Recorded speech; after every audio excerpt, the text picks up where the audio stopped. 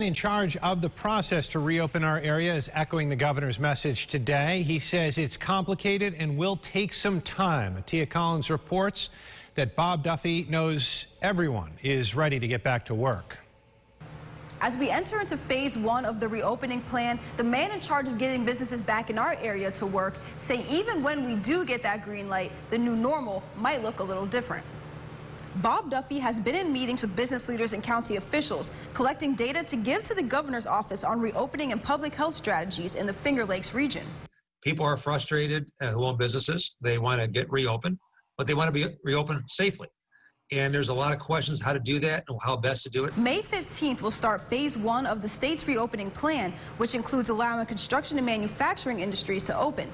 Duffy says other businesses should prepare for when they can open their doors by making plans for employee safety and working with customers. Always be proactive. Don't wait. Uh, don't wait for somebody to say, we're going to reopen. If you have a plan, then you're delayed by two or three or four weeks.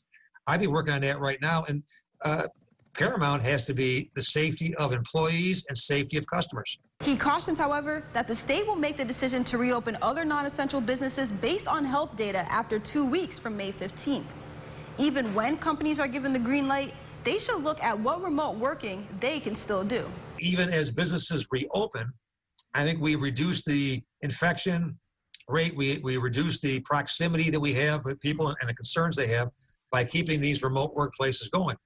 Duffy emphasized that after phase one, the decision to reopen will come from the governor's office, and health data will be the leading factor in getting that go ahead.